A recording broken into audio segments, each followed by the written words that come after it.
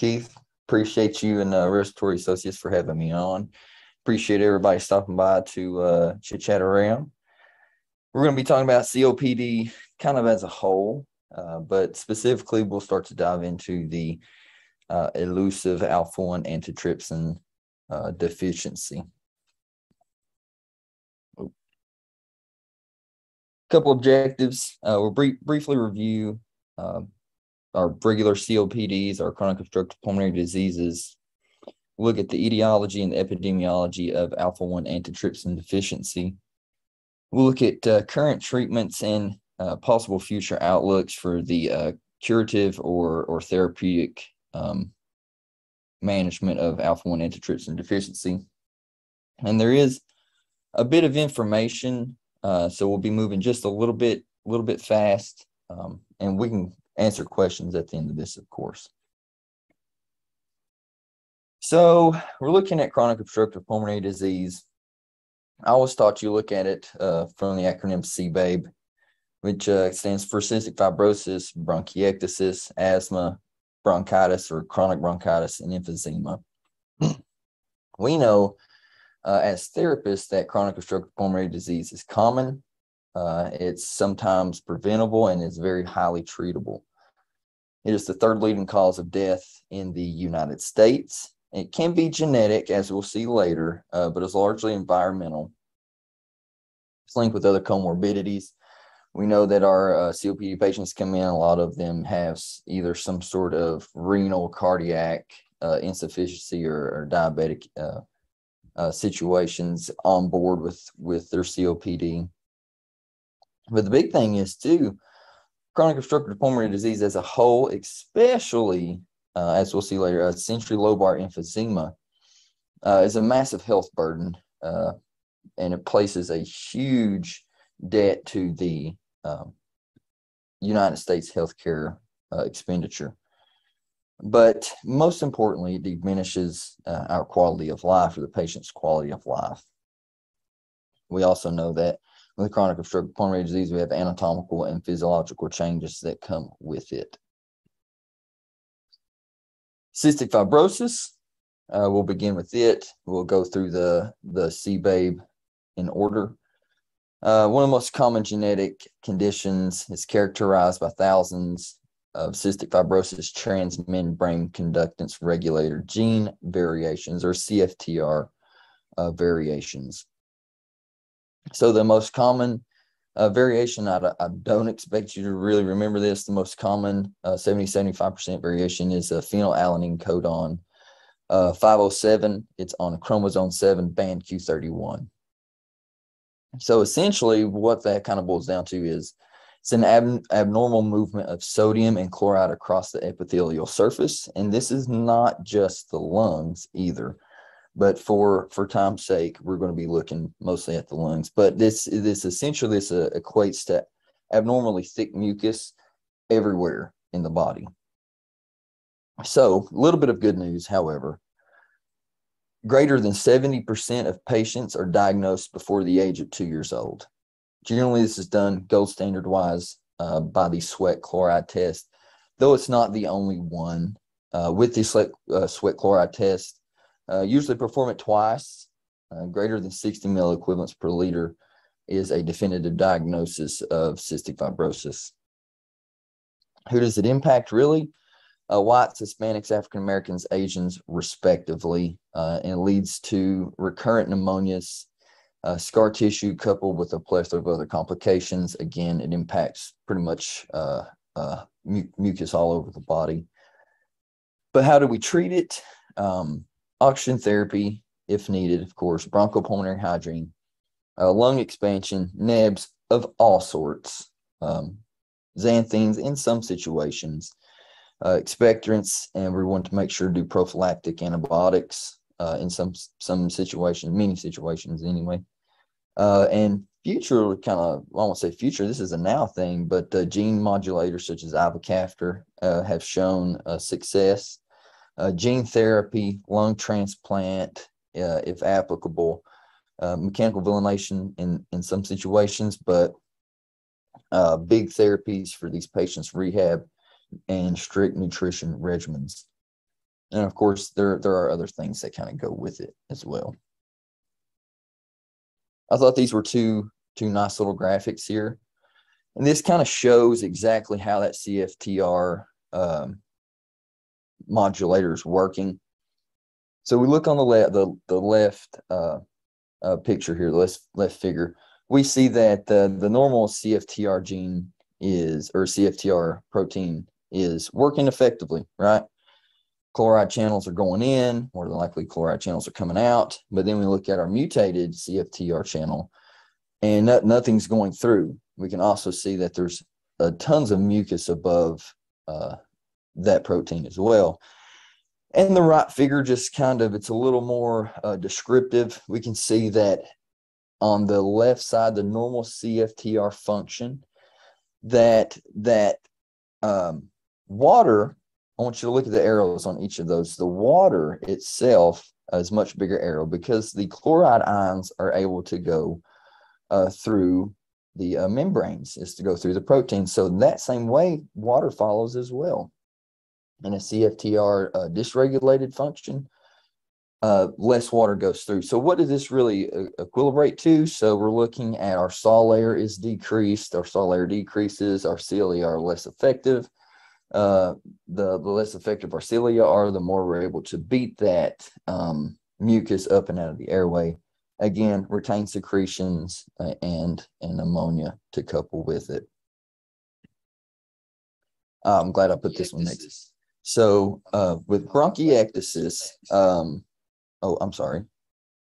There we go. Uh, with bronchiectasis, um, there's permanent, it's characterized by permanent uh, distortion and dilation of one or more of the bronchi, bronchial wall destruction. This is more common in the lower, less supportive airways. If we can remember back, uh, the smaller our airways get, the less cartilaginous structure they have.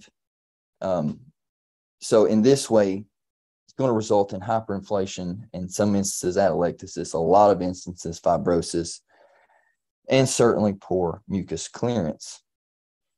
This bronchiectasis can be acquired or congenital and takes three, has three different flavors, cylindrical, uh, cystic, and fusiform or varicose. And if you look down at the bottom right um, graphic here, we see that the varicose, it almost looks like varicose veins, right? So acquired, we're looking at recurrent pneumonias, um, recurrent bronchial obstruction, inhalation of toxic or chemical gases, and recurrent aspiration. With the congenital set, we're looking at cystic fibrosis. So if bronchiectasis is, uh, you know, characterized or it can um, manifest due to recurrent pneumonias, uh, set aspiration or bronchial obstruction, cystic fibrosis and bronchiectasis are they kind of couple together. But also in that realm and i usually butcher this this name it's Kartagener's syndrome which is dextrocardia or kind of like a like a flipped heart bronchiectasis and sinusitis uh, it's treated similarly to cystic fibrosis due to the recurrent pneumonias and the bronchial obstruction so forth so um, um, pulmonary hygiene and bronchodilation are very big topics for that.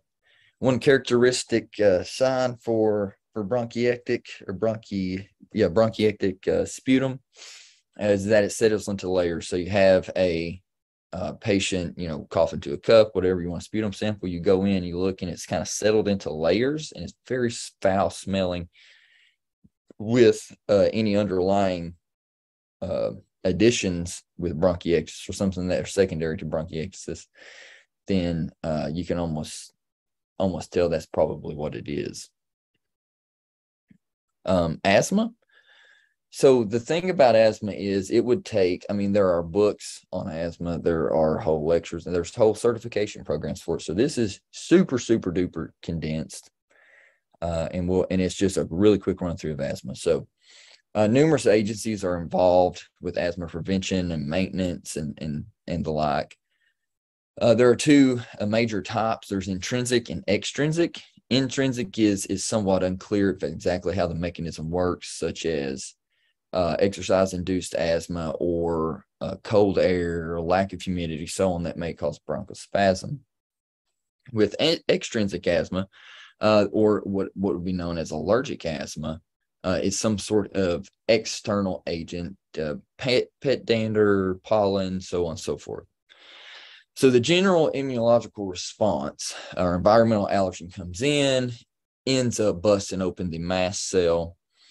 Uh, so the mast cell secretes uh, histamine, heparin, or eosinophilic uh, chemoattractor factor of anaphylaxis, platelet activating factor, all of these different IgEs and immunoglobulins uh, that eventually result in bronchospasm and goblet cell hyperplasia, which also manifests as decreased uh, airway with lots of mucus, or again, more, even more so, decreased uh, airway lumen diameter. So I want you to look at sputum eosinophilia, uh, and we know that with the eosinophilic uh, chemoattractor that uh, these asthmatic patients, if you were to take a Y cell count on them in a certain situation, that their eosinophils would be greatly increased.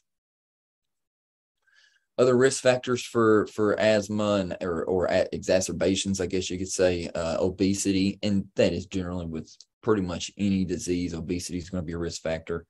Uh, gender uh, recurrent infections or or new infections uh, sleep schedules. Again i wish we could get into this uh, but we just don't don't have the time uh, just yet. Maybe another lecture. But GERD, GERD is one of the big ones. And a lot of the times, um, if I'm seeing patients um, in a clinical setting, I'll ask them, you know, is your do you have acid reflux? If so, has it been managed? Is it being managed here? So if our stomach is holding in their hydrochloric acid and it starts to rise up through our esophagus, you're going to inhale microparticulates of the hydrochloric acid. And your your lungs, especially if they're hyperreactive, are just generally not going to like that at all. Uh, spirometry, so if you're going to do a PFT on these individuals, say if you want to differentiate between emphysema and, and asthma, you look at spirometry showing a, a pre and post reversibility FEV1 greater than 12% or or greater than equal to 12% or roughly 150 to 200 um, mLs. There's four, four classifications uh, intermittent, mild, moderate, severe. And if I'm not mistaken, I think like the asthma educator course or, or certificate goes very in depth with these classifications and how to manage them. Uh, general the general management of of asthmatic patients not not your critical care setting or anything like that but your general management. You want to develop a patient provider relationship in that uh, the the patient is comfortable speaking with the provider and asking questions and, and obtaining information while the provider is also very well aware of the patient situation be it socioeconomically or health wise so on and so forth uh, so with this relationship uh, or or on your own uh, you want to identify and eliminate those triggers. Those triggers being is it your dog? Is it your cat? Is it is it a seasonal type of situation? And if so then you know that it's probably a pollen type thing or a cold type thing. And you can you can start to assess treat monitor and manage any type of situation after the fact once you identify and you eliminate those triggers and of course we would take uh, medications to simmer the situation down um, such as uh, say cromolyn sodium or montelukast, something like that, some mast cell stabilizers. Of course, we rescue meds and all of that. Uh, the the patient may need oxygen, um, bronchopulmonary hygiene, of course, NEBS, right? We know this, and sometimes mechanical ventilation. If we look into some of the literature, we also see that uh, instead of like going straight to, to ECMO in a non-responsive or status asthmatic situation, we they may be able to try inhaled anesthetics, uh, such as isoflurane and, and, and all of those, and they have shown to break asthmatic situations quickly.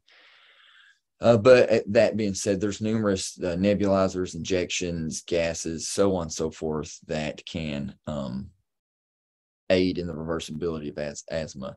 And one thing I, I really want to know is budesonide hasn't been shown to work very well with with neutrophilic situations. And when we get a little bit further, I want you to keep that neutrophilic mindset. Budesonide and other inhaled corticosteroids work very well with eosinophilic situations. Okay. So this being said, it's it's it's a high standard for asthmatic patients to take uh, inhaled corticosteroids to simmer down that as we see that sputum eosinophilia at the bottom left graph there, uh, or a um, picture. So when we when we think about that, think about that with asthmatics versus um, emphysematic patients as we move forward. Chronic bronchitis, uh, chronic uh, characterized as chronic and productive cough for three months in each of two consecutive years. Interpret that how you will. Uh, chronic inflammation in the peripheral airways, bronchospasm, and in the after a, an amount of time, of course, in late stage, there may be air trapping as well. Uh, excessive mucus and possible plugging. Of course, as we see with this chronic inflammation uh, and the increase in sputum uh, production, as we would see with an inflammatory situation, um, there may be excessive mucus and possible plugging. This is usually in unison with emphysema uh, with millions of diagnoses. So generally when when a lot of folks talk about chronic obstructive pulmonary disease, they don't really think about um, CBABE, right? It's just really all right, emphysema and chronic bronchitis, or one or the other. But there are some differences. So these individuals, I want you to look at the bottom right picture here. So the fella on the right, um, that's your blue bloater. That's your chronic bronchitis patient. Um, he, he looks like my papa, I'll be honest with you um, with his hair all slicked or whatever. But our fella on the right here, that is uh, what we majority of us see for just chronic shortness of breath. This is our pink uh, puffer, which we'll get into in a little bit later. Uh, so these the fellow on the right, they may be a little bit more stocky or overweight. They have this hypoventilatory syndrome uh, where they don't breathe as much or as deep. And in this situation, we have a higher cardiac demand so their lungs per se, the the oxygenative situation of the lungs, the ventilatory situation of the lungs, um, should be okay for quite a while. But as it slowly starts to build, there's higher higher demand uh, on the heart, and these individuals may manifest with uh, a right heart failure or cor pulmonale in very late stages of uh, um, chronic bronchitis. And then in the same way as your late stage emphysematic patients, there'll be situations of polycythemia. So with this hypoventilatory syndrome, generally with some some probably some type of OSA and right heart failure with polycythemia, we're looking at a pl- plenty of clots and decreased cardiac outputs, um, as we could imagine. All right.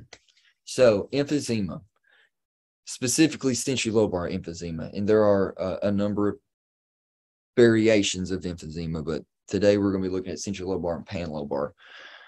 So lobar is characterized as dilation and destruction of the airways distal to the terminal bronchi. So after the terminal bronchi, we have the respiratory bronchi, alveolar sacs, and uh, alveolar ducts and alveolar sacs, right? So this is distal to our conductive airway. So uh, central lobar emphysema is mostly caused by tobacco smoke and we can quantify really any type of chronic obstructive pulmonary disease uh, using our pulmonary function testing. Uh, many, many, many people use the GOLD guidelines. Uh, I myself use the GOLD guidelines, and you can look through there. Uh, but emphysema, characterized by a decrease in uh, DLCO or lung diffusion of carbon monoxide, will manifest in values less than 25 milliliters per minute per millimeters of mercury. So this this individual here is our pink puffer. Okay. Uh, typical cachectic COPD patient. You walk into the room, they're tripoding, they're using accessory muscles, pursed lip breathing. Just looks like they're huffing and puffing all the time. And generally, these people, after they get so far, they will be actually malnourished. I mean, think of the increased muscle strain first off, and the caloric intake that it it uh, takes to maintain breathing 30 times a minute, right? Uh, but these individuals, I'll, I'll go in and ask my patients, I'll say, you know, do you have a command station that you stay at at home? You've got a rocking chair with two tables on each side. One one table's got your tissues and your your liter of Mountain Dew, and the other side's got your meds, or that's where you eat, books, whatever. And a lot of them say, yeah. So generally, what happens is you get short of breath. You don't want to move as much. Uh, you get short of breath. You can't eat as much. So in this same way, you're not you're not moving around and you're not eating. So you're literally wasting away. So you get short of breath, you get anxious. Well, I'm not doing that. You start to eat, you get anxious. Well, I don't want to do that too much either. You go to the doctor, you get short of breath. Well, I don't want to do that. And it's just this vicious cycle of of anxiety, shortness of breath, uh, in and inactivity and decreased nutritional intake. I thought this was a good graphic to kind of show the difference between like your your your normal um um acina or acina and your centrilobar panlobar emphysema. So we've looked at centrilobar on the bottom left, uh, labeled B. Looks like it's pretty much right in the center of the branch, right? So centrilobar. Whereas with panlobar, it's at the very, very end. And that should make that should make some sense as it, as as we'll look forward uh, at the genetic components of panlobar emphysema. And what do you know? So again, proximal to, to the terminal bronchi, um, known as the most severe form of emphysema. The progression of uh, chronic obstructive pulmonary disease outside of this, whether you smoke or occupational pool, because uh, you can stop those things, and your chronic obstructive pulmonary disease should should slow rapidly. Uh, in this situation, that's irrelevant. Um, it's commonly associated with alpha 1 antitrypsin deficiency, which is genetic, and estimates of one to every 50 emphysema cases. But we'll see that that's likely an inaccurate assumption. So, what is it? How does it how does it cause? It causes emphysema. How does it do that? Well, it was initially described in 1963, and to dive into a little bit of the, the hard science portion of it, alpha 1 antitrypsin is a protein produced in the liver mainly, in small portions in other places of the body. So alpha 1 antitrypsin uh, causes liver, um, can, can impact the liver heavily as well. But alpha 1 antitrypsin uh, maintains the protease and antiprotease homeostasis or the breakdown and buildup, so on and so forth, or the catalyzation of uh, proteins in the body. So alpha 1 antitrypsin is a protein, right? Let's keep that in mind. So the protease, neutrophil elastase, right? So protease is breaking breaking proteins down.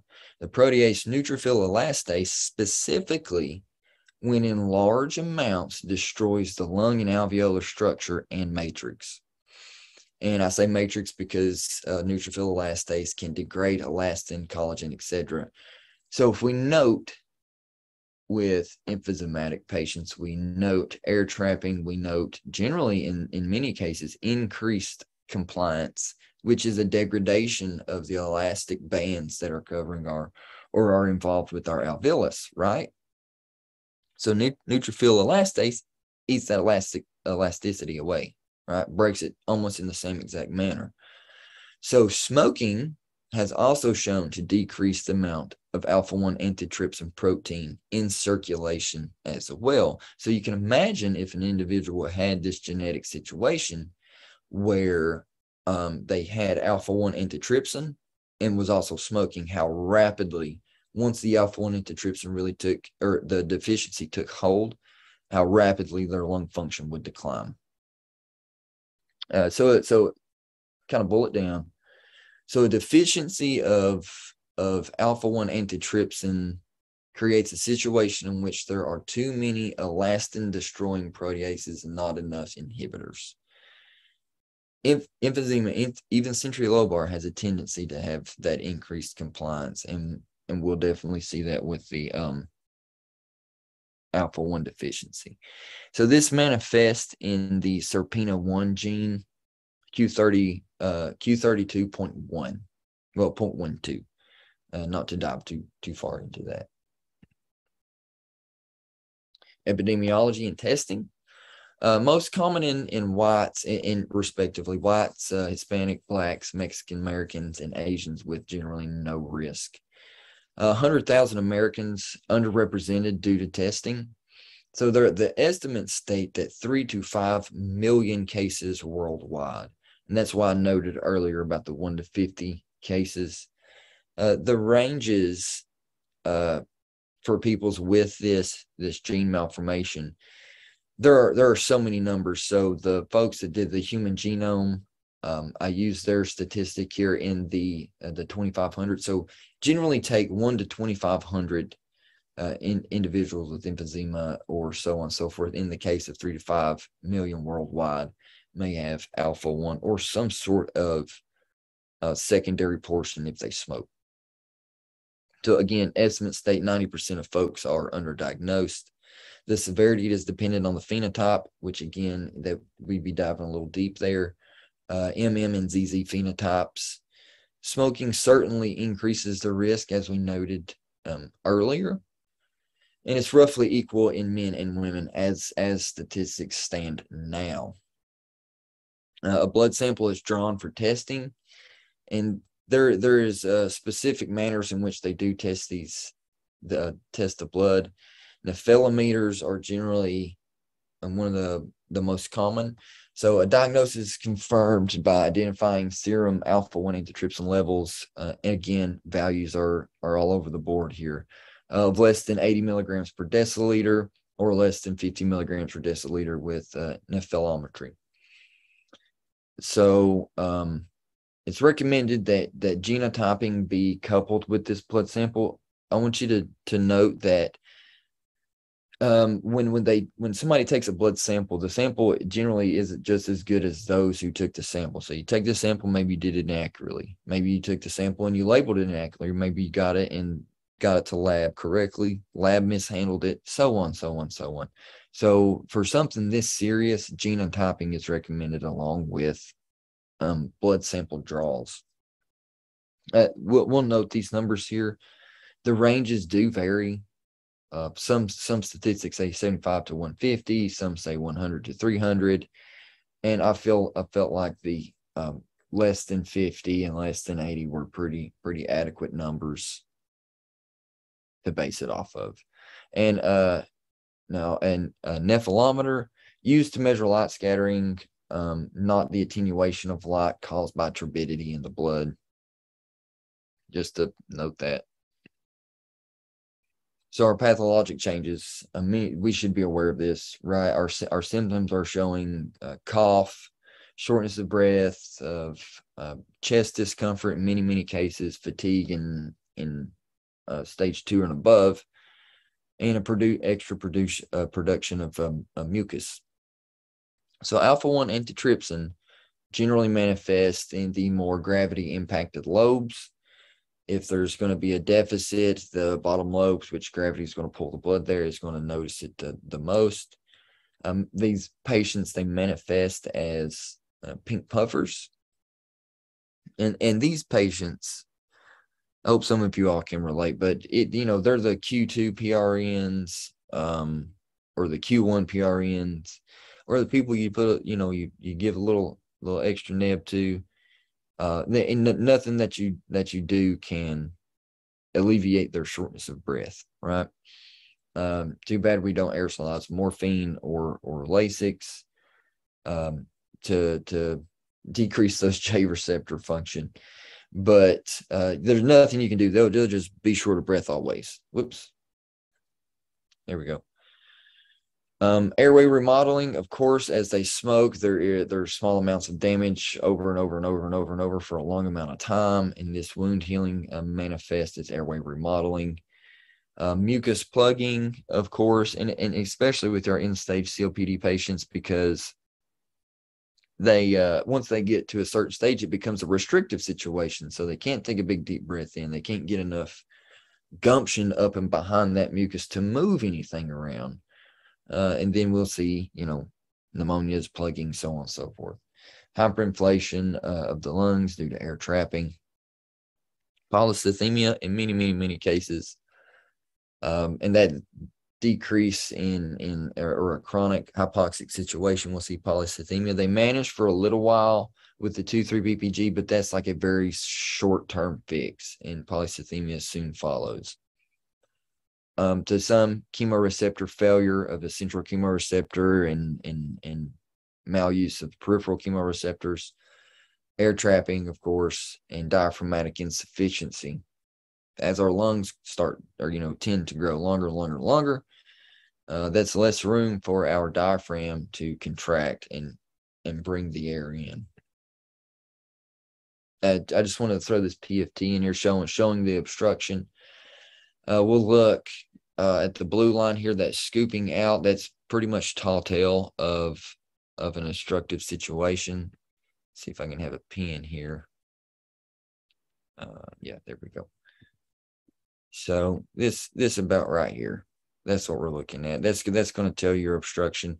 But you can also measure like uh, with with your bronchiectasis, you can measure your uh, it's in the larger airways, uh, it, respectively. It's in the larger airways, so you can see that manifest in situations such as uh, FEF 200 to 1200, those large airway values, or the uh, FEF 2575 for those smaller airways, and those will manifest in different areas of your PFT to notice your scooping. And of course, with other uh, subjective information, objective information to, to make a definitive diagnosis for these chronic obstructive patients, um, accurately manage them accordingly. So, with alpha 1 antitrypsin, uh, current treatment management. So, one of the most popular treatments, or I guess probably the only one that's really shown promise uh, for alpha 1 deficiency, is augmentation or replacement therapy. And this is essentially healthy, healthy blood. Uh, alpha 1 antitrypsin, full blood, is administered to the patient to help to circulate to decrease you know and eventually they're going to start to have that decrease again they'll get more blood so on and so forth. Uh, again, this is more, I won't say preventative in a way, um, but it's, it's definitely not curative uh, unless you can just have like a constant, I don't know, influx of alpha 1 through blood through a pump, something. Uh, so it's really just trying to slow the progression of the disease because again as the as the blood starts to withdraw from the alpha antitrypsin then slowly more and more and more damage is going to be done to the lungs and you get new blood then it starts to simmer down more damage new blood. Again another cycle.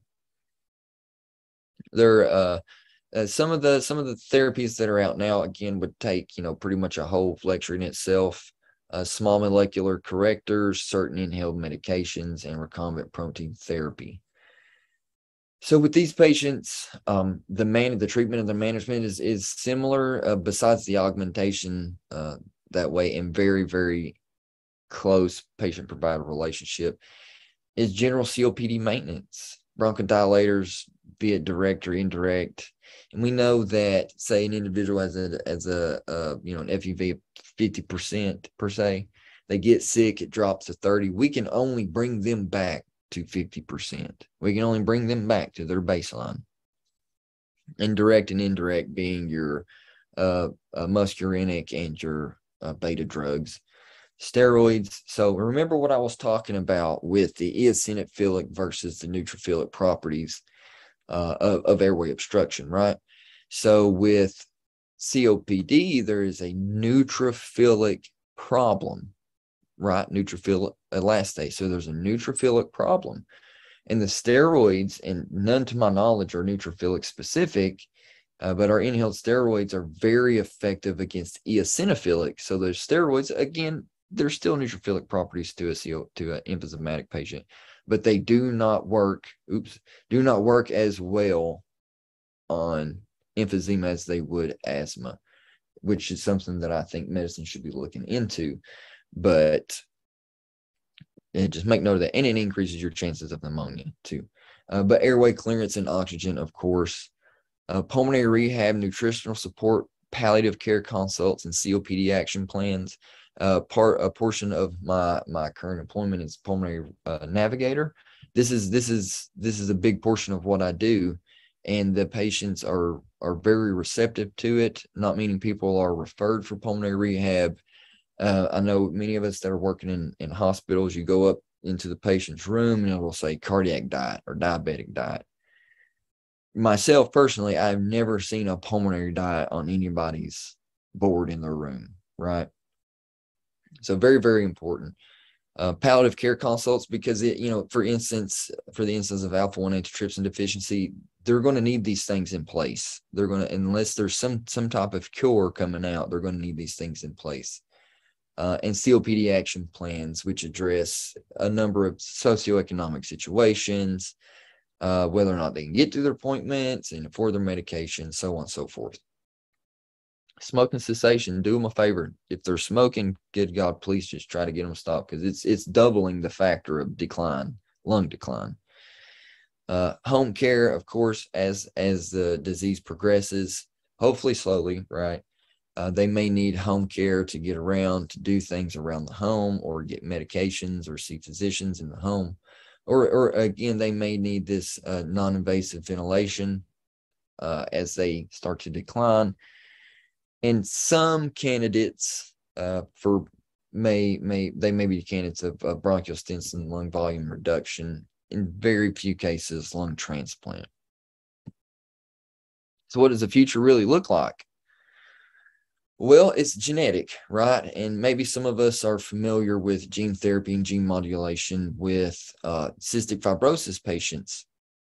So, essentially, scientists have come up with a way to modify these viruses because when a virus enters into the cell, it hijacks the cell's machinery, tells the cell, hey, create my stuff instead, right?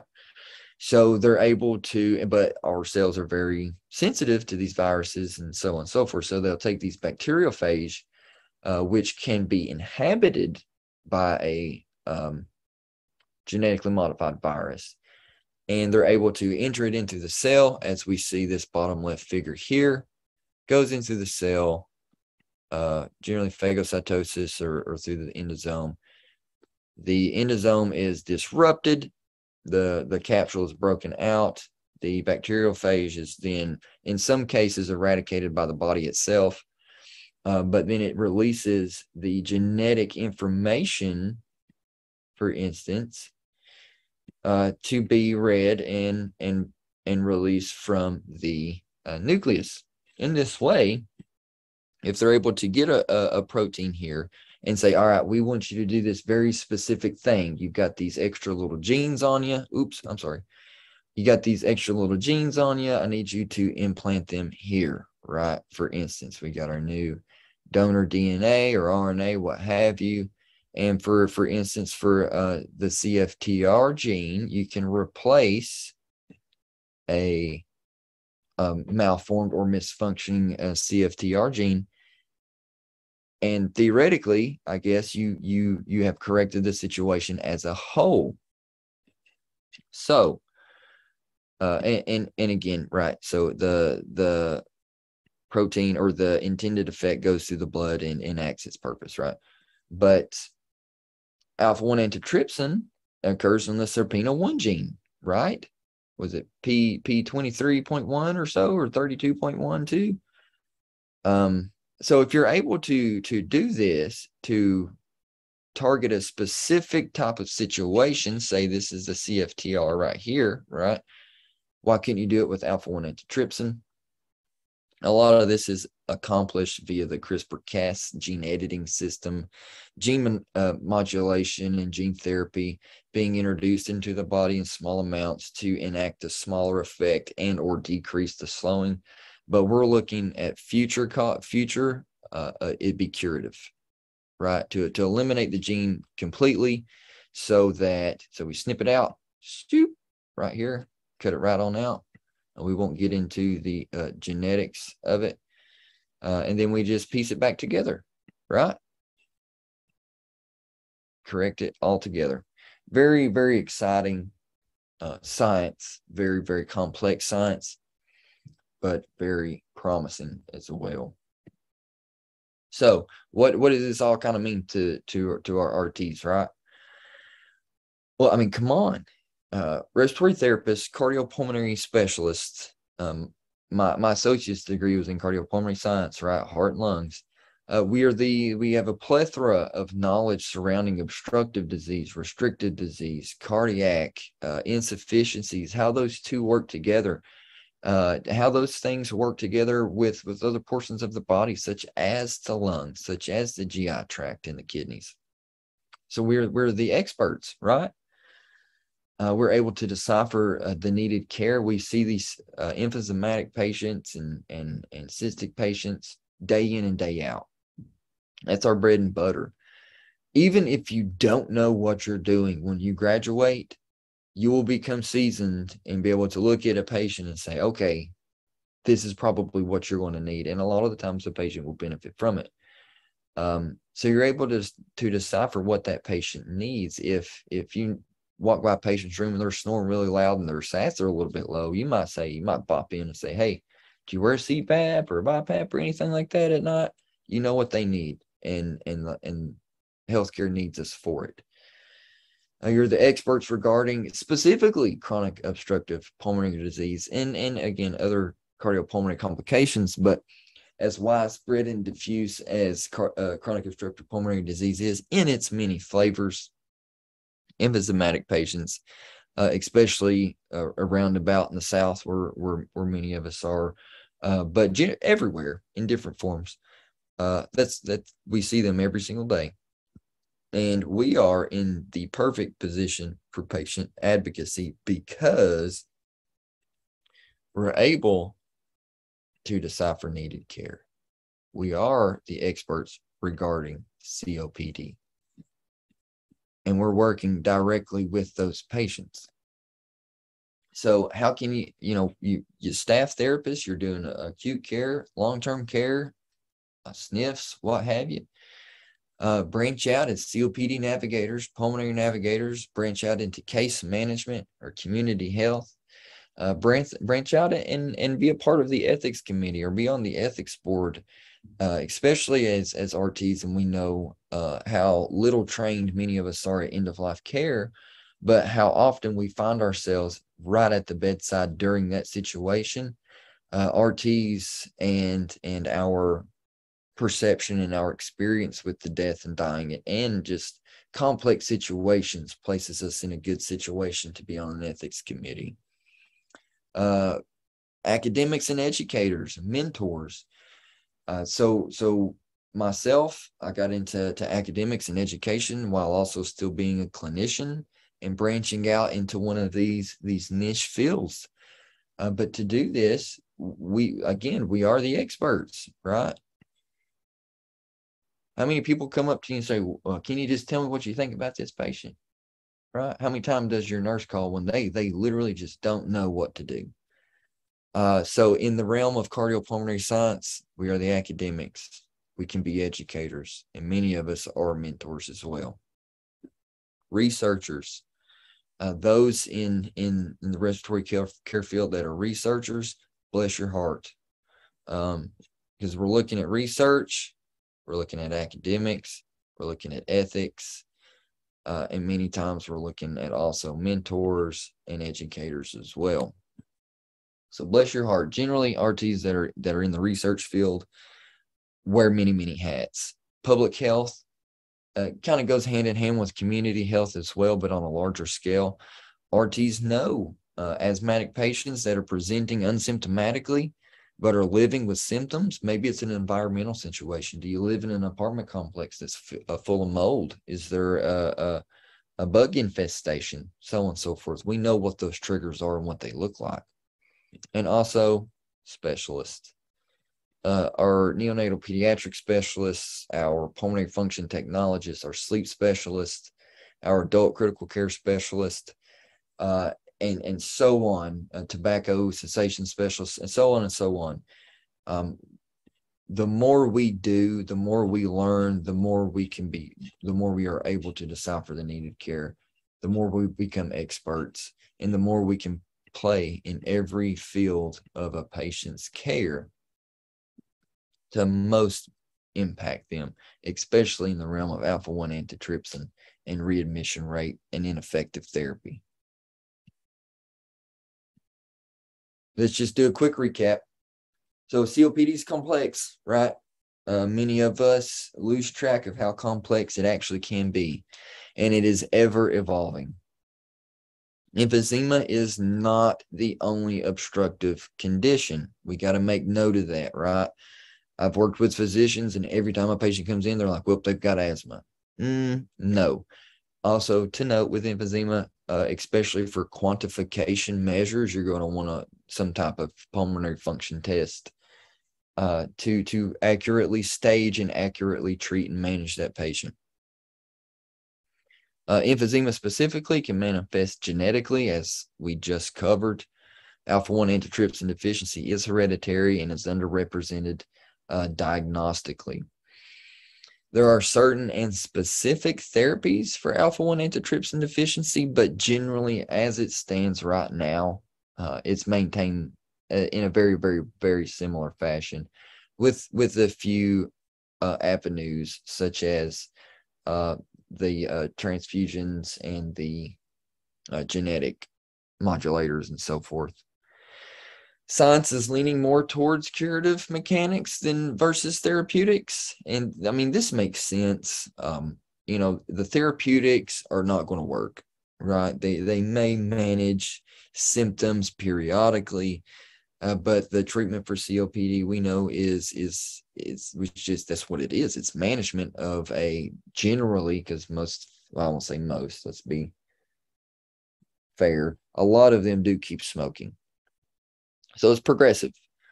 Um, and there's really not much besides, you know, cramming smoking cessation in their face and doing referrals that um, is going to cure it. So for for this situation, for those that can't help it, science is leaning more towards curative mechanics.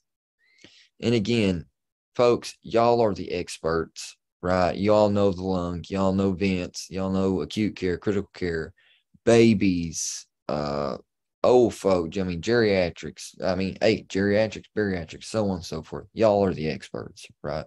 Heart and lung, that's you. You are the advocate, especially in situations like this. Uh, many, many different medical facilities, especially like uh, stroke facilities and things like that, they put uh, an emphasis on heart patients.